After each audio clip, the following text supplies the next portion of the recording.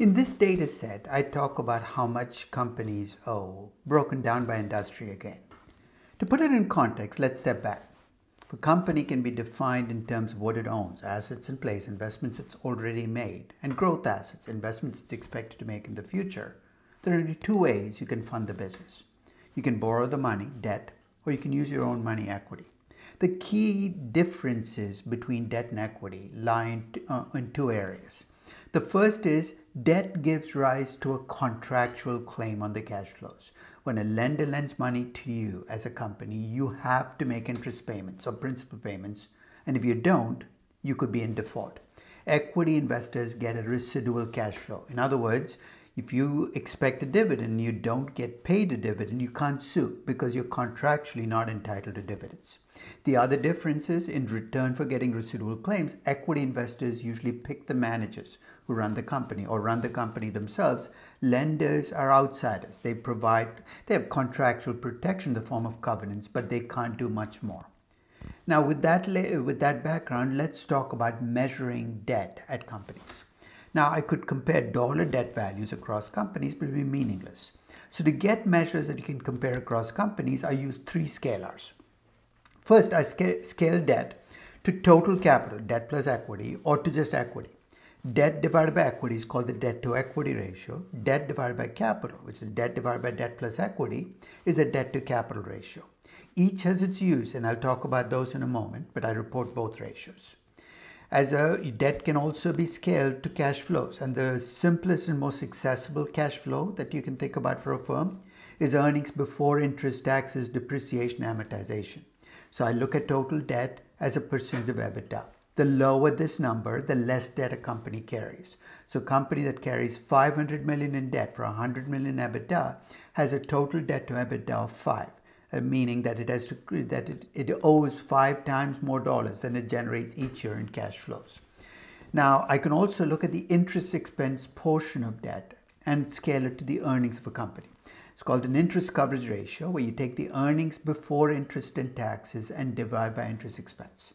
So those are the three key scalars you'll see me report. Now that said though, there are choices I have to make in how I compute debt.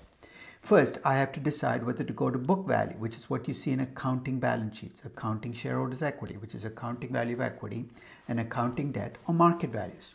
For equity for a publicly traded company, that's just market capitalization.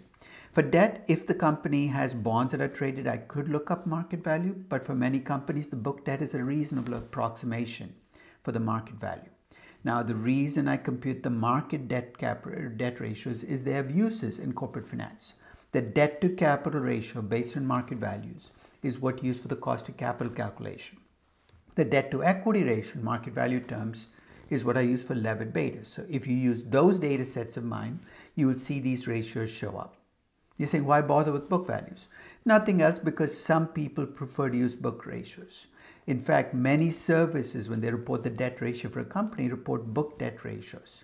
So if you're wondering why my debt ratios are different from what you might find in Yahoo Finance, this might be the reason. Now, book debt ratios do have a use, especially when it comes to computing accounting returns. Now this might be getting ahead of myself if you haven't looked at the accounting return data set, but I report return on equity and return invested capital. And the two are linked together by what? By how much a company borrows. And here it's the book debt to equity that matters and what its after tax cost of borrowing is, again, based on book borrowing. So debt to debt ratios can be computed on market or book or book basis. Now, incidentally, when you compute debt to capital, debt over debt plus equity, that number cannot be less than 0%. It cannot exceed 100%. If you're doing debt to equity, though, it cannot be less than 0%, obviously, but it can, there's no upper bound. Debt rate, debt can be 9 times, 15 times, 20 times equity at highly levered companies. There's another component of debt that is, that is worth talking about. I know we, when you talk about debt, remember debt can be short term debt or long term debt. And for whatever reason, some people prefer to look at long term debt ratios. I think it's a mistake, but there are debt ratios you can compute with just long term debt. Now, if you're looking at a balance sheet, long term debt is debt that will show up separately from account from short term debt because short term debt, which can include short term borrowings and the short term portion of long term debt, will show up usually under current liabilities.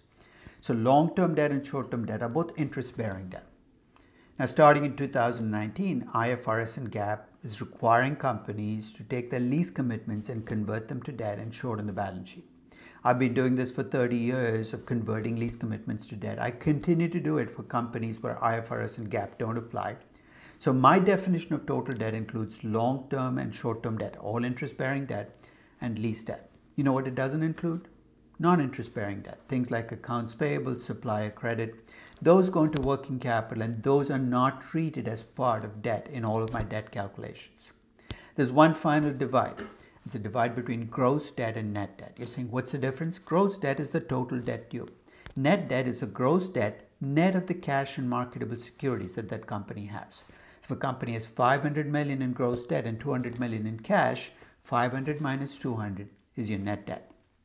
Note already that while gross debt cannot be less than zero, net debt can be negative.